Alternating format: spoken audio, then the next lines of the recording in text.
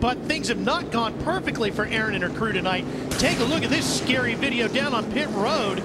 Look at this. That's her wow. stall. Man, something lit up there. Man, oh man. Luckily they got the firemen nearby. They were able to extinguish that fire. Crew all over it with their fire extinguishers, getting it out right away.